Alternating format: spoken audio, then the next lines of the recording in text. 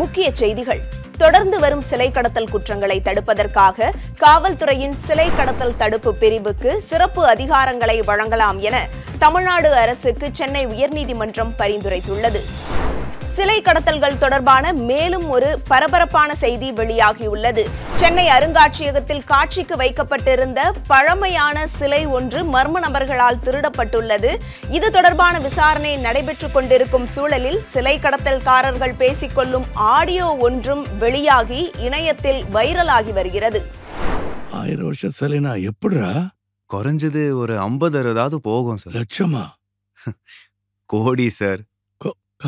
கோடியா இக்கொள்ளை சம்பவம் தொடர்பான விவரங்களை பெற அப்பகுதியின் காவல் ஆய்வாளர் திரு மைத்ரேயனை தொடர்பு கொண்டோம். அவர் இணைப்பில் இருக்கிறார். அவரிடம் பேசலாம். வணக்கம் சார். வணக்கம். இந்த மாதிரி சிலைகளை திருடி விற்றா ஓவர் நைட்டில் செட்டில் ஆகலாம் நிறைய பேர் விவரம் தெரியாமல் சுற்றிட்டு இருக்கானுங்க. இந்த கேஸோட முடிவு அவங்க எல்லாருக்கும் ஒரு பாடமாக இருக்கும்னு நம்புகிறோம் இந்த திருட்டில் நாங்கள் சந்தேகப்படுற ஒரு நபரோட ஸ்கெட்ச் ரிலீஸ் பண்ணியிருக்கோம். அவனை பற்றி தகவல் தெரிஞ்சவங்க யாராவது இருந்தால் பரம்பொருள் டீசர் ரிலீஸ் ஆகும். அதோட கமெண்ட் செக்ஷனில் தகவல் சொல்லலாம்.